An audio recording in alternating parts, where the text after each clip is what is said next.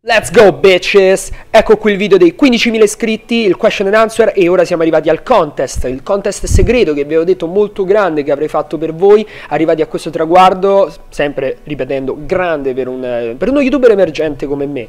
Quindi Cos'è questo contest di cui vi ho parlato, di cui non vi volevo dire? Bene, è uno Scoof Gaming FPS Competition Pro per Xbox 360. Perché per 360? Perché molte persone non sono passate alla next gen e tra l'altro, piccola chicca, piccolo segreto commerciale che ancora non è stato annunciato, tra tre settimane usciranno gli Scoof per l'Xbox One. Quindi mega spoiler, non potrei dirlo, ma non mi frega niente. Comunque, questo è un FPS Competition Pro. Cos'è un FPS Competition Pro? Bene, è un eh, tipo di pad prodotto dalla Scoof Gaming che ha tutte quelle componenti che vengono usati dalla media dei giocatori professionisti che utilizzano Scoof Gaming. Cosa vuol dire questo che possiede? I due tasti sotto, che sono questi due che vedete, vediamo un secondo se nella webcam si vedono bene perché non so.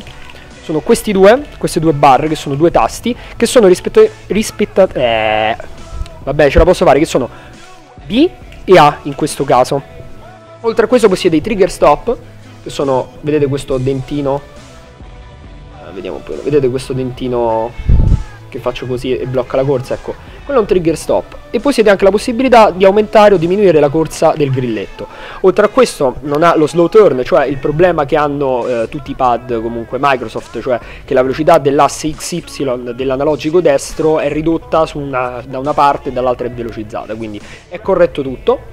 È un uh, normalissimo pad legale, si può utilizzare, cioè non è che sono delle cose per barare, è legale, si utilizzano in tutte le competizioni e uh, in più ha uno squid grip attaccato. Squid grip è questa pellicola che vedete che serve a non far scivolare le mani e anche a tenere meglio il joystick a renderlo più comodo. Quindi questo è il contest dei 15.000 iscritti. Come fare per vincerlo? Bene, dovrete mettere mi piace, scrivere partecipo qui sotto e comunque se volete potete anche rispondere con i commenti a quelle che sono le domande che farò a breve, cioè le domande, le risposte alle domande che avete fatto nel video di due giorni fa.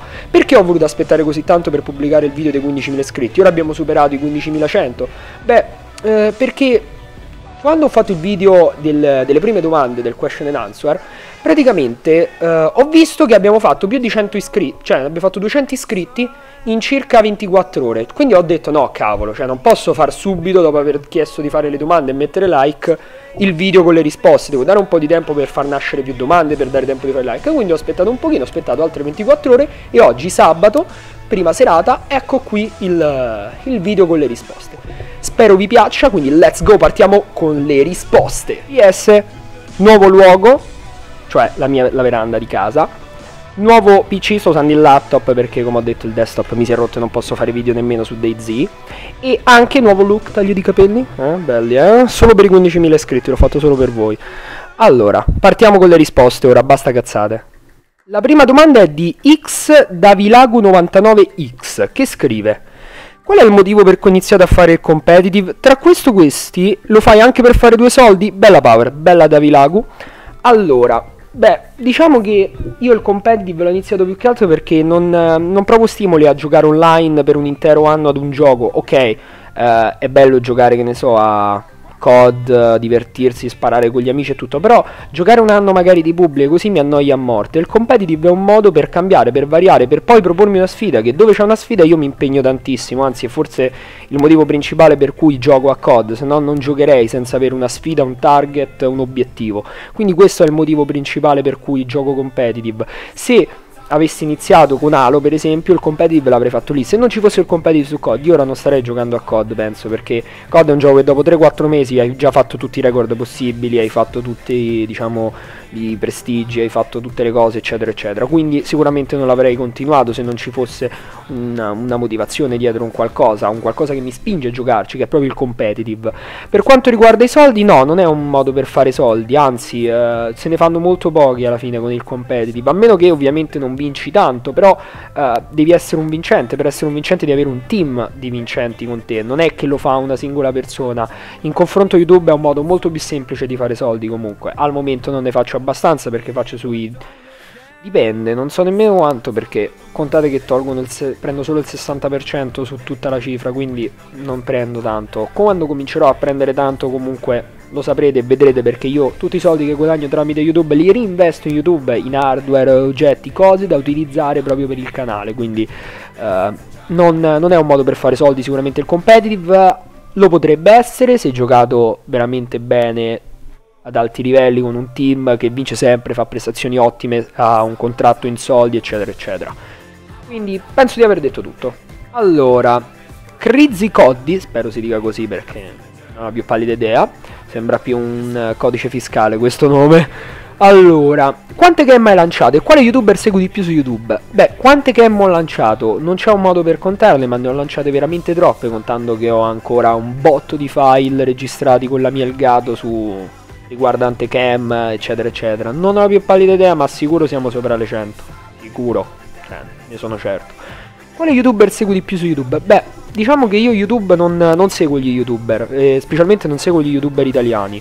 Perché questo? Perché gli youtuber italiani li considero tutti uguali, tutti che cercano di fare lo stesso umorismo e lo stesso tipo di video, uh, non c'è una differenza, non c'è un termine di paragone, anzi voglio cercare di essere io il termine di paragone rispetto a tutti gli altri youtuber, che è diciamo la mia ambizione, è il perché sono qua su YouTube, uh, non sono qui sicuramente per guadagnare perché al momento non si fanno abbastanza soldi. Comunque, quale youtuber segui di più su YouTube? Beh, sicuramente... Uh, quale youtuber segui di più su YouTube? Questa è una bella domanda perché non saprei. Ci sono dei youtuber che mi piacciono tanto. Uno è sicuramente più dai Pai, che tra l'altro conoscete tutti, cioè. Sicuro ed è anche lo youtuber più famoso attualmente. Uh, oltre a lui seguo Driftor per quanto riguarda COD perché mi piace il suo approccio a COD, è l'unico che fa video di questo genere, fa dei video dove si concentra veramente sulle specifiche tecniche, pratiche del gioco, meccaniche di gioco veramente studiate nei minimi particolari, proprio calcolatrice alla mano, spiegando tutte le cose percentuali, uh, tutte le peggio cose, quindi anche lui è un ottimo youtuber. Oltre a questo, uno che seguo anche che mi piace veramente tanto. Eh, questo è un problema perché ci sta Frankie on PC che mi piace anche, che è un giocatore di PC, fa video su PC e mi piace il modo in cui fa i video, molto... mi piace come li monta, i tipi di video che fa, quindi anche lui è un ottimo youtuber. Per il resto non seguo youtuber italiani, sono tutti youtuber esteri questi che ho detto, quindi eh, sono gli unici che consulto, vedo e diciamo imparo da loro perché anche hanno molta più esperienza, si affacciano a un pubblico più grande e più maturo rispetto a quello italiano, quindi è tutto diverso praticamente. Spero di aver risposto anche a te a questa domanda perché non lo so, era un po' ambigua. Allora, Noiz1337i scrive: Hai mai fatto fighi fighi trombato? Guarda, solitamente quando sto con una ragazza a casa mi piace mettermi sul letto e giocare a scopa con le carte. Cioè, non dico cose sconce, cioè, ti pare. Exet chiede, parlaci degli accessori per giocare come Scoof, Control Freaks, Astro eccetera. Allora, le Astro sono queste qui, sono le cuffie che uso io.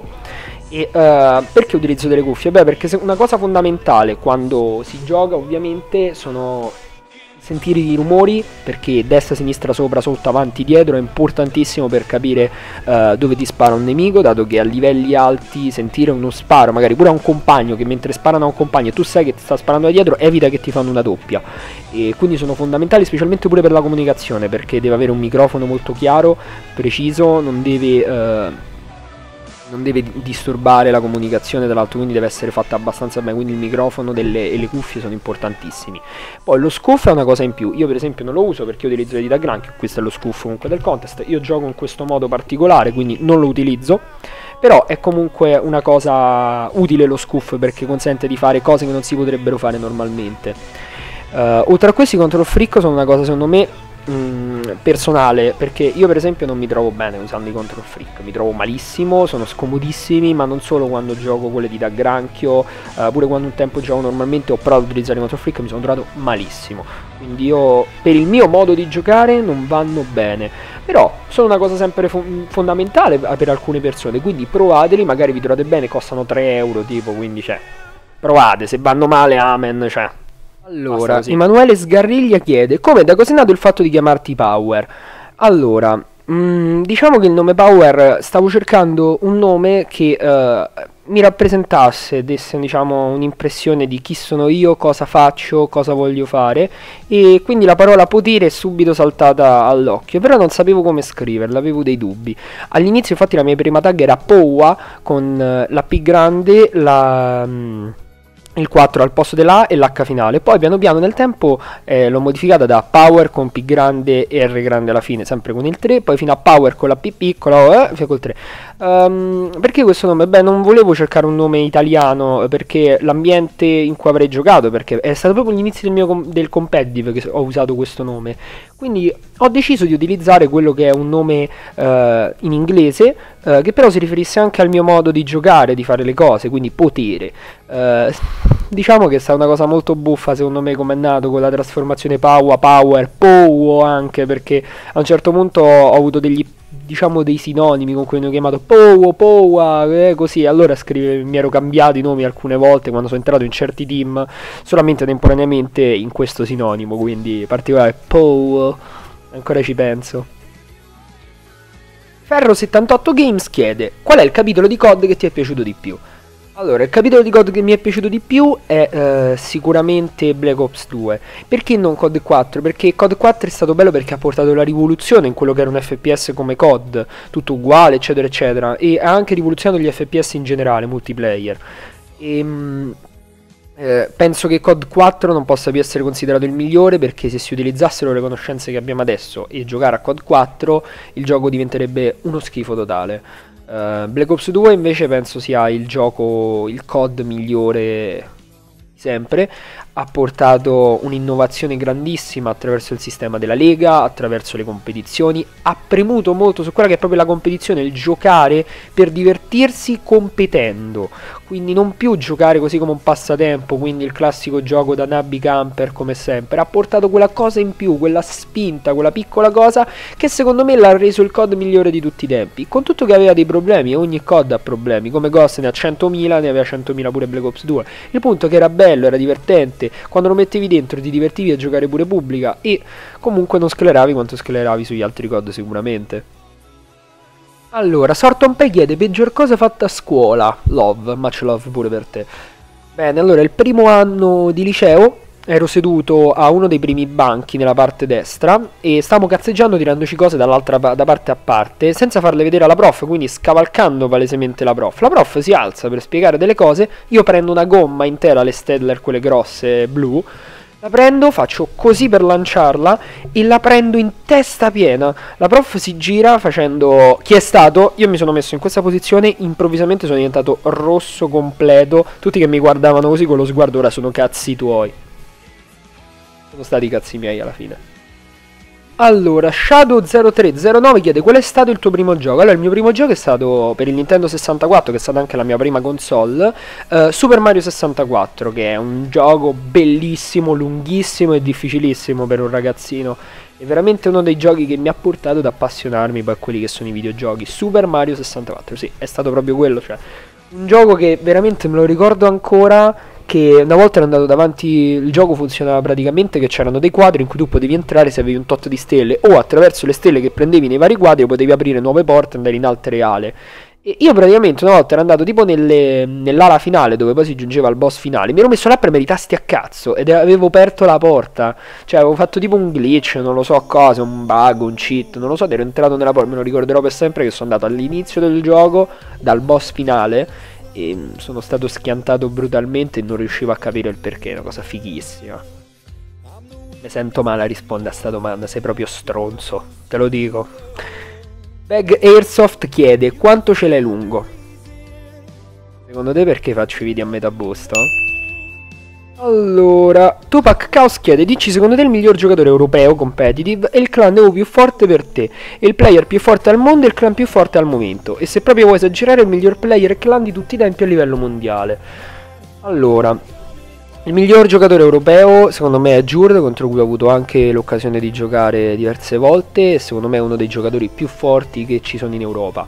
Per quanto riguarda il clan più forte, beh, sicuramente gli Epsilon erano gli unici diciamo era l'unico team europeo costante, erano in grado di competere in hardpoint con il team Impact, i Farico Impact, che erano un team assolutamente sgravato in hardpoint, quindi sicuramente loro. Il player più forte al mondo, il clan più forte al momento, il player più forte al mondo...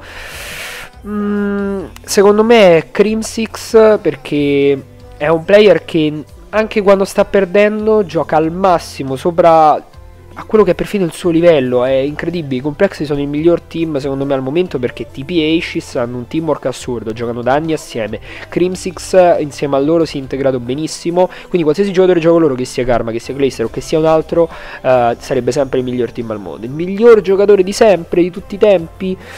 Questa è una cosa difficile perché il miglior giocatore, diciamo, di tutti i tempi varia anche in base al periodo, perché non tutti i giocatori rimangono allo stesso livello, piano piano arrivano altri team, arrivano altri giocatori nuovi, si sfaldano i team, quindi le cose cambiano, va molto in base al team, non al singolo giocatore. Quindi non c'è proprio questo, però secondo me i complexity stanno veramente distruggendo tutto e tutti. È qualcosa di incredibile, perfino quando stanno perdendo 2-0 in mappe, in una best of 5, quindi che basta all'avversario vincere una mappa, loro sono in grado di vincere 3-2, qualcosa di incredibile. Let's go bitches, siamo arrivati alla fine di questo question and answer, anche video di ringraziamento per i 15k e anche un contest. Vi ripeto un'altra volta che per vincere lo Scoof Gaming dovete essere ovviamente iscritti al canale, quello era, era palese, cioè per forza. Mettere mi piace al video per forza e basta se volete anche scrivere sotto partecipo come volete ma non serve perché io vedrò dai mi piace. Il, il, diciamo la, la, persona verrà scelta random totalmente random non so nemmeno io come penso di fare tipo scroll così a caso se no di fare tipo un amico mio dimmi un numero da 1 a 8 mi piace lui mi dice il numero e lo sceglierò. Non lo so ancora come sceglierò casualmente però ci penserò. Comunque spero vi sia piaciuto questo video e scusatemi se non è come gli altri però non lo so, ho voluto provare a cambiare tipo di vlog. Comunque sto anche facendo tutto con il laptop, che è un problema. Con questo cazzo di tastierino di merda. È difficilissimo metterlo a posto. Cioè, non mettere a posto, montare i video col. come si chiama? Col coso con il dito per muovere il cursore. Cioè, una cosa. Comunque spero vi sia piaciuto, bitches. Ci becchiamo al prossimo video. Let's go!